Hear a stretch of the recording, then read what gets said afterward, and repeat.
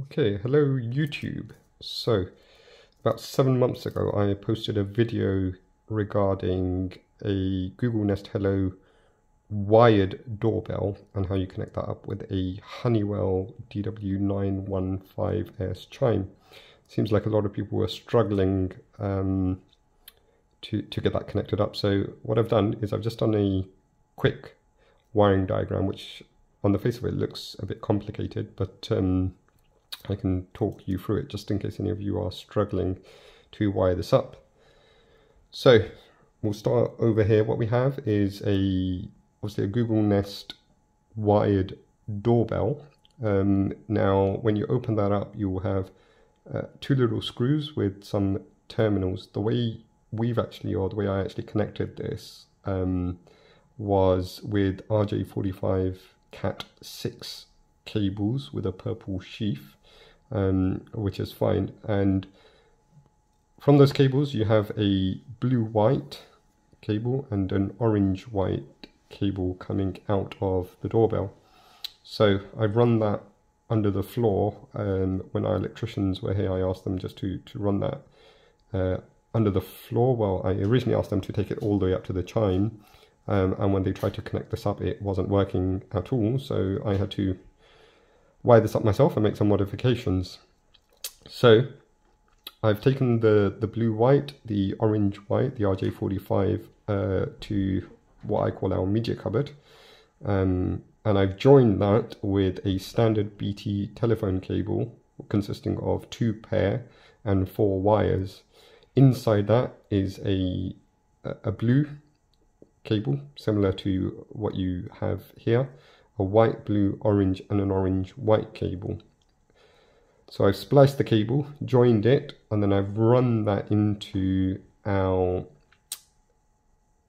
BG Bell uh, BG Bell transformer. Well, it's not a BG Bell transformer, it's one that I, I purchased, but you can purchase a BG one or any standard 8 uh, bell transformer from Screwfix or um, Toolstation or any sort of electrical outlet. Now, the key thing with this here is on the actual bell transformer, you have output written down, um, and then you have a number of pins. So the orange or orange-white wire I put into pin 1, um, and then the blue wire I put into pin 4. Now if we look here, pin 1 to uh, pin 1 and pin 4 you know, gives me a 0 volt to a 24 volt. Now you could arguably get this to, to work with a 0 volt to 8 volt, so pins uh, 1 and 2, because the Honeywell chime actually says that it works on, on an 8 volt connection, but this is between 0 to 24 volts, so um, that that's how I've got it actually to work. Now you may need to run two separate cables because you want to get the cable from your bell transformer, okay, which is in, in my case is this orange cable here. So I've taken the orange cable down to my Honeywell DW915S uh, backing plate, which has the, the connectors. And then I've also taken from the BG transformer, uh, the cable coming out of pin 4, which is the blue cable, um, and then I've also taken the blue cable or blue-white cable coming out of the Nest Hello doorbell up to the Honeywell DW915S backing plate as well. Similarly, I've taken the orange wire from the doorbell, the Nest Hello doorbell, up into the Honeywell DW915S uh, backing plate or, or the connector or terminal, whatever you, you actually want to call this. So you want to get your cables up to this point here. Now, this step here is obviously optional. If you have a run of cables, you know, which is an RJ45. This will work perfectly with those low voltage RJ45 cables uh, as well, and, and some people actually uh, actually do it that way as well. So I've I've sectioned this out into two areas. So this one here is from the doorbell to the bell transformer, and this one here is from the bell transformer to the actual chime. Okay, so the other thing to mention here is the consumer unit that I've I've got has RCBOs, and inside there is a 10 amp breaker, um, and we have a brown live cable going into the bottom of this bell transformer, and then we have the blue line in cable going into the bottom of the bell transformer uh, as well. Uh, I should have put this disclaimer in earlier. I'm not an electrician. Um, if you are not confident in you know any wiring then you are strongly advised to seek uh, an electrician's advice but um, there's nothing stopping you from wiring this up on your own as well so consumer unit bell transformer Google Nest wired doorbell and the Honeywell DW915S uh, backing plate okay so, assuming you have got to this point and we are all okay, right? So what you want to do is we've now got a, or you should have got in the box, a Google Chime connector, okay? And that will have two sort of connector blocks on it. One has a white cable, the other one has a white grey cable. And inside the actual connector, or the terminal plate, you've got some pins you need to be quite careful with these pins because they're, they're quite fiddly and when you're moving cables in and out, and I certainly went the first time I was doing this, when I was trying to get my cables in and out, I actually broke the, um, the, the sort of pins. Now, even if you break the pins, that's okay. You can still get the cables in there because there's a little clip in there. So if you push hard enough, the cable will actually stay. So if we take this from from um, left to right, then the connectors you have are A1, A2, B1, B2, AC1 and AC2. A1 and A2 and B1 and B2 are for your doorbells. Now in this system you can actually connect two doorbells if you have a large house, live in a mansion, um, want one in your back garden. Uh, for example, you can wire these in, in series.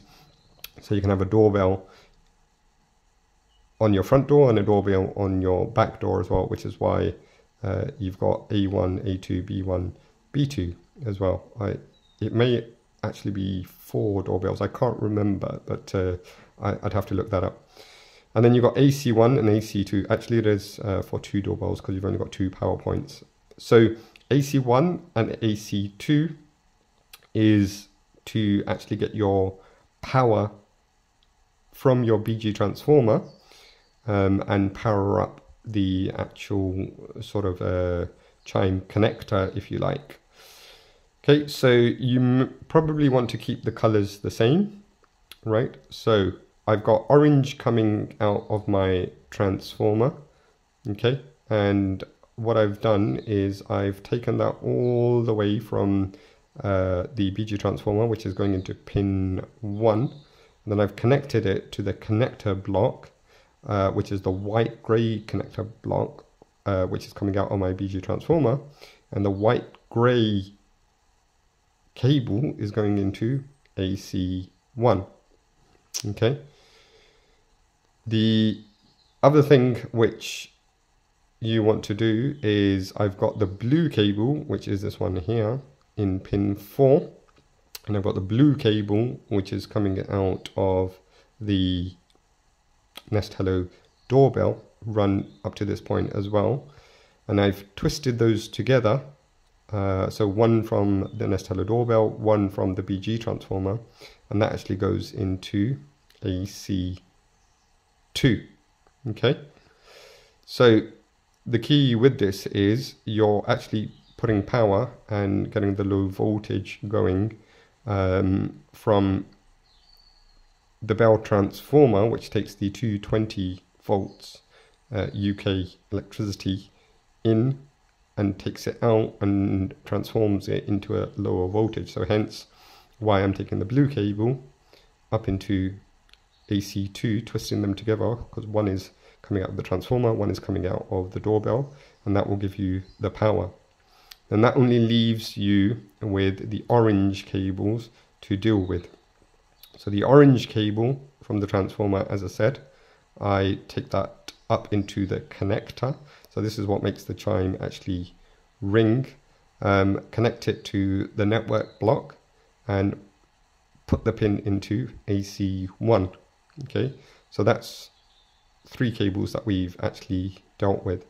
Then the last cable to deal with is the orange white cable, which is here. And this is effectively when somebody presses the Google Nest wired doorbell, it will actually send a signal to this box, to the chime connector. And when you plug the Honeywell DW915S into this terminal plate, it will actually make it ring. Okay, so that orange cable is the wire from the doorbell and I've run that into the network block, which is the white network block coming out of the Google Chime connector. And then you plug the pin into a one. Okay. So overall, if I just zoom in uh, a little bit, just give you a close up of the video. Okay, so we've got the Google Nest Wire doorbell. As I said, you've got some terminals in there uh, with a blue, white and an orange white connector, RJ45 Cat 6 cables that I've got running there. Taken that into our media cupboard where I've connected a standard BT telephone cable consisting of two pair four wires, uh, blue, white, blue, orange and orange, white. Okay, I've then got that up into, or the cables coming up under the floor into a separate area of the house and I've got a bell transformer. So the one coming out under the floor, I've got the orange one going into pin 1, the blue one going into pin 4, okay, and then I've got my consumer unit which has an RCBO 10 amp breaker connected to it. You've got the line in, which is the blue cable, uh, going into the bottom of the bell transformer and the brown cable going into, which is the live going into the bottom of the, the bell transformer. Okay, I've then continued uh, the orange cable from the actual transformer up into the Honeywell plate. Okay, and then I've connected that into the terminal block for the BG. Let's just get that a little bit closer if I can.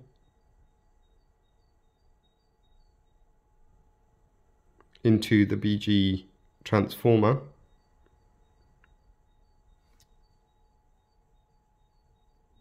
Okay, um, and then I've got the blue cable from the BG transformer and the blue cable from uh, the Nest Hello doorbell.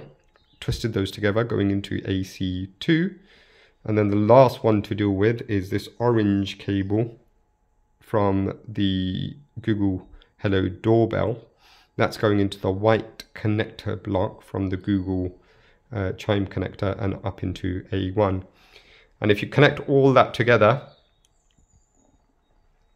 that should make your, your, your doorbell operational. Now there's likely to be multiple ways that you can wire this up, but I found this one to be one of the sort of better solutions and the most robust solution to, to get this working.